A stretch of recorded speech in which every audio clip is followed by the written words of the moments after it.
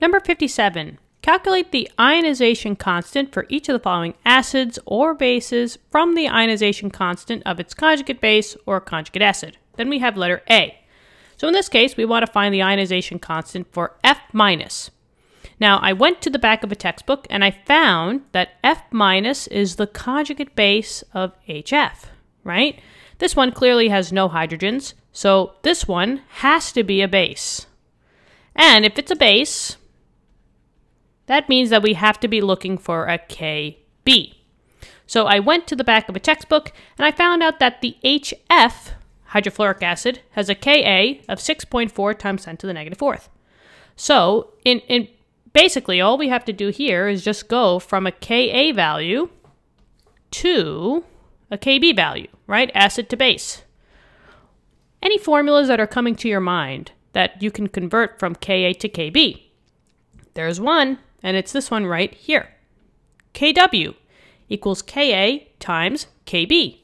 Now just know that Kw should be a constant value, especially since we're pulling out Kas from the back of a textbook. This is at 25 degrees Celsius, so you're probably going to have to memorize the Kw, which is 1.0 times 10 to the negative 14th, or 1 times 10 to the negative 14th, or 10 to the negative 14th.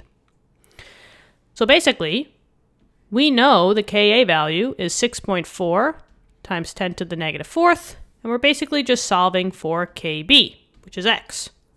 So that's good. Let's do it. 1.0 times 10 to the negative 14th equals something times something. We have x over here, and then we got the acid part, 6.4 times 10 to the negative 4 and we want to just solve for x. So we divide by both sides by the number 6.4 times 10 to the negative negative fourth. 6.4 times 10 to the negative negative fourth. These cancel. Beautiful.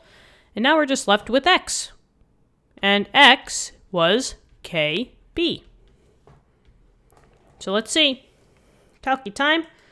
1 times 10 to the negative 14th divided by 6.4 times 10 to the negative negative fourth. And if we use two sig figs, it would be 1.6. 1.6 times 10 to the negative 11th. And there you go. That's your answer.